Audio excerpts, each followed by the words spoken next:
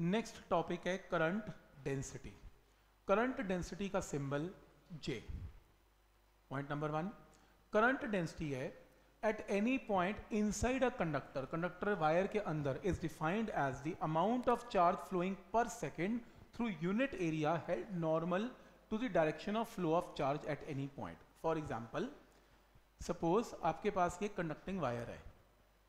ये इसके अंदर आपने क्रॉस सेक्शनल एरिया लिया जो कि मान लो एस है.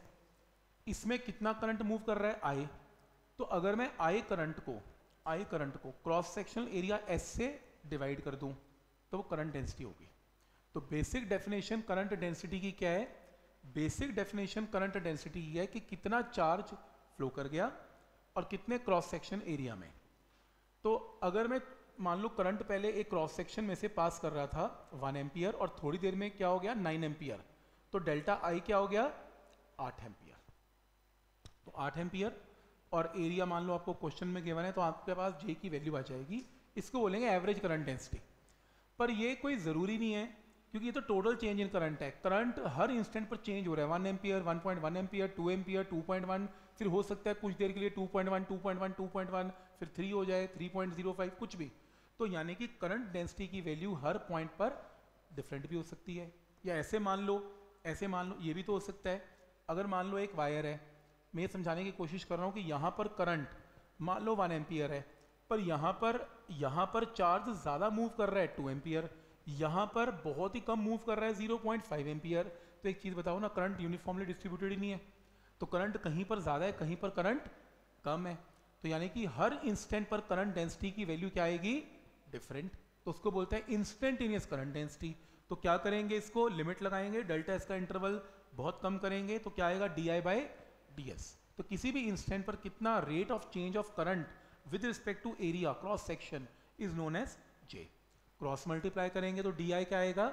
जे डी एस और अगर टोटल करंट निकालने आपको पूरी वायर के क्रॉस तो इसको क्या करना पड़ेगा? इंटीग्रेट क्योंकि हर एलिमेंट का करंट क्या आ रहा है? डिफरेंट इंटीग्रेशन करेंगे टोटल करंट आ जाएगा. अब याद रखना current density the vector quantity ये वेक्टर क्वांटिटी है. तो जे वेक्टर करंट डेंसिटी होता है करंट बाय एरिया इसकी डायरेक्शन एरिया वेक्टर के अलॉन्ग होती है। जैसे अगर मान लो ये क्रॉस सेक्शन एरिया है, इसका एरिया वेक्टर इसके परपेंडिकुलर है, या तो राइट है या लेफ़्ट है। हम कैसे डिसाइड करते हैं राइट या लेफ़्ट करंट की डायरेक्शन से। अगर करंट राइट है तो एरिया वेक्टर भी राइट है, अगर लेफ़्ट है तो एरिया वेक्टर भी लेफ़्ट है। अब यहाँ पर राइट है तो एस कैप राइट है। तो ये क्लियर है यहाँ तक? तो current density is a vector current is a scalar current की कोई डायरेक्शन नहीं। तो यहाँ से अगर किसी ने कहा कि, सर, ये वायर ऐसी है तो समझ में आ गया। अगर वायर को काट दिया जाए कैंची से ऐसे टेढ़ी तो एरिया देखो सीधा नहीं रहा, एरिया टेढ़ा हो गया। अब एरिया वेक्टर ये थोड़ी ना होगा परपेंडिकुलर, एरिया वेक्टर तो ये हो गया। फिर क्या करेंगे?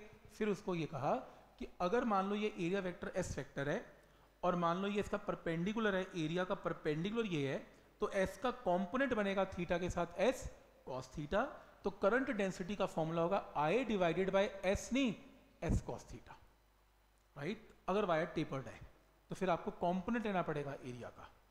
लेकिन अगर सीधी है तो थीटा ज़ीरो जाएगा cos zero is one answer सही आ जाएगा। क्रॉस मल्टीप्लाई करेंगे तो करंट क्या आएगा? J S cos theta J is a vector S is a vector तो डॉट प्रोडक्ट तो ये करंट का जो है वेक्टर रिप्रेजेंटेशन है। करंट स्केलर है, लेकिन ये डॉट प्रोडक्ट है J vector dot S vector का। तो आप प्लीज़ ये फॉर्मूला बुकलेट में नोट कर लें।